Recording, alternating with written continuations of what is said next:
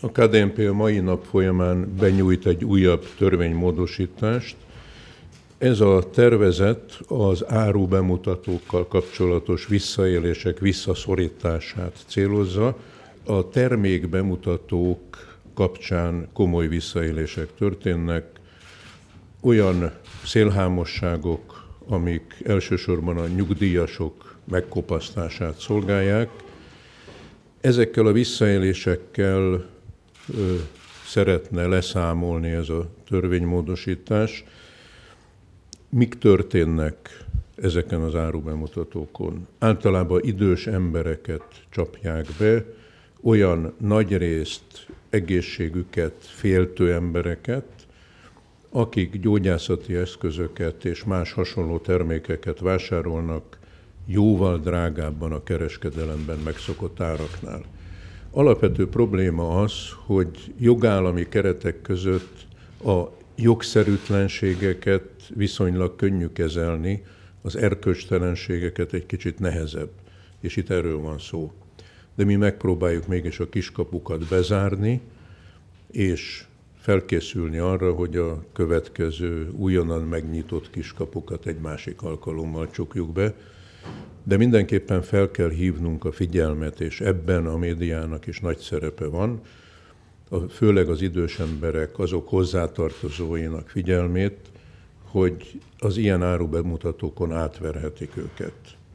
Ha megnézzük azokat az adatokat, amiket a fogyasztóvédelmi felügyelőség ismertetett, akkor azt látjuk, hogy körülbelül 70%-a az ellenőrzött eseteknek törvényszegést tartalmazott. 13-ban 150 vizsgálatból 110 fedett fel ilyen törvénytelenségeket. Nem könnyű ezeket tetten érni, de erre teszünk most kísérletet, hogy a jogi eszközökkel megpróbáljuk visszaszorítani ezeket. Mint ahogy a KDNP több más törvénymódosítási akciója során hosszú egyeztetésekkel előzte meg a benyújtást. Ilyen volt például a családi csődvédelemről szóló törvény is, amit több mint egy éven keresztül egyeztettünk. Ez esetben is hatóságokkal, civil szervezetekkel folytattunk egyeztetéseket.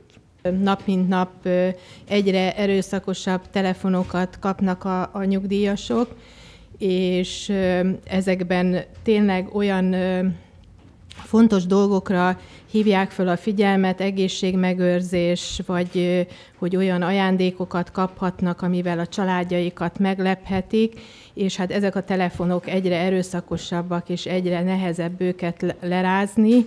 Én nagy örömmel vettem részt a nyugdíjasok nevében ebben a konzultációs sorozatban, és nagyon örülök, hogy eljutottunk a mai napig, amikor ebből törvényjavaslat is készült és ha ennek eredményeképpen csak egy nyugdíjas vagy egy család megmenekül. A KDNP ezzel a javaslattal kívánja a magányosságnak és a hiszékenységnek a csaló vámszedőit megállítani, amelyet a mai napon benyújtunk a parlament elé. Minden száz termékbemutatóból, vagy 65-nél, vagy a háromnegyedüknél valamilyen törvénytelenséget találtak a felügyeletnek a munkatársai az elmúlt években.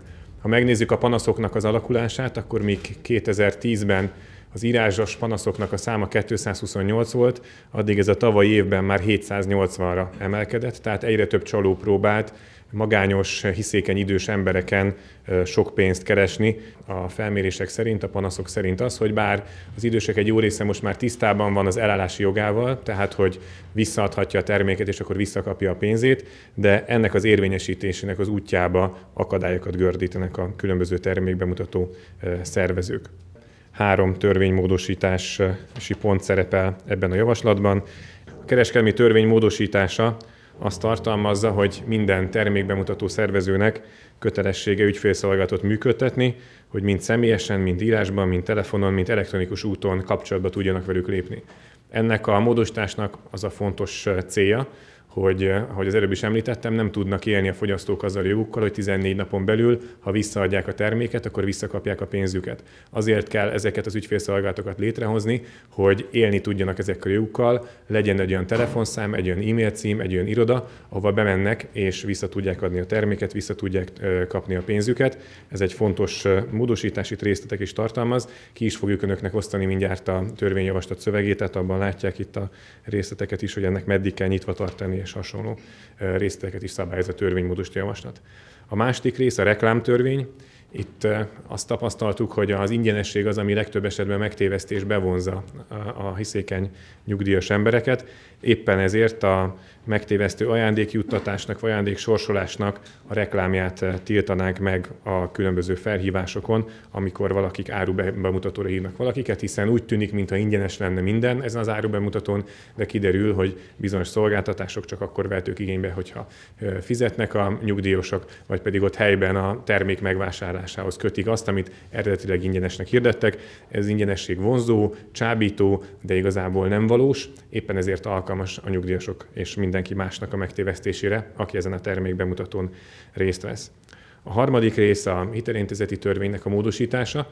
Ez azt a problémát hivatott kiküszöbölni, hogy sokszor, amikor a nyugdíjasoknál nincs ott az a több tíz vagy több százer forint, amiért eh, azt a terméket eladják nekik, éppen ezért ott helyben egy hitelszerződést iratnak velük alá, és eh, ott a buszon, vagy ott azon a helyszínen, ahol tartják a termékbemutatót, már adóssá is válnak, és úgy fizetik ki a terméknek az árát, hogy valójában egy bank vagy hitelintézet nyújtja, vagy egy pénzügyi vállalkozás nyújtja a hitelt, és utána ők pedig azt akár éveken keresztül törlesztik. Mi megtiltanánk azt, hogy áruban mutatóval egybekötött termékértékesítés során pénzügyi szolgáltatást lehessen nyújtani. Tehát, hogyha valakinek nincs ott helyben pénze arra, hogy megvegye azt a terméket, akkor el kell menni egy bankfiókba, és ott lehet csak hitelszerződést kötni, de ott helyben a buszon, ott helyben a termékbemutató helyszínén nem lehet ezt megkötni. Azért tartjuk ezt fontosnak, hiszen aki tényleg hasznosnak ítéli azt a terméket, az el tud menni utána egy bankfiókba, el tud menni utána egy, egy pénzügyi vállalkozáshoz, és meg tudja kötni ezt a hitelszerződést.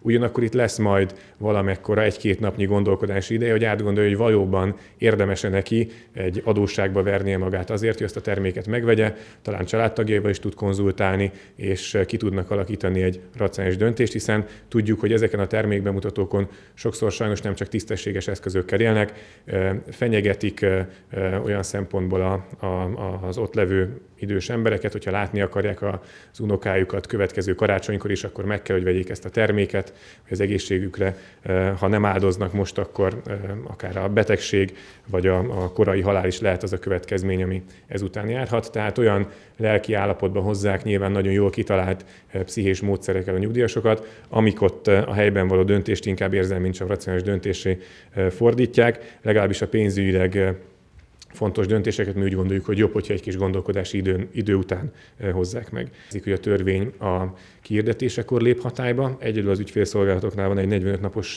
határidő, ameddig föl kell azokat állítani. A KDNP ma, ahogy mondtuk, benyújtja ezt a javaslatát.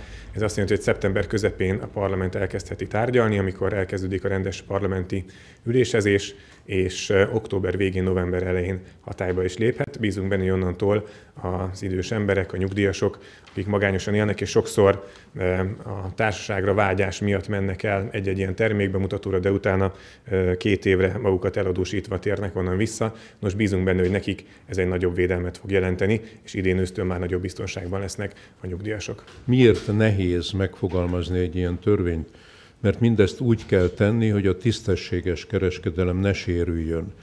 Tehát nem lehet betiltani az árubemutatókat, természetesen, hiszen nem mondtuk azt, hogy mindegyik törvénytelen módon dolgozik, csak azt mondtuk, amit a felmérések mutatnak, hogy a 75 százalékuk.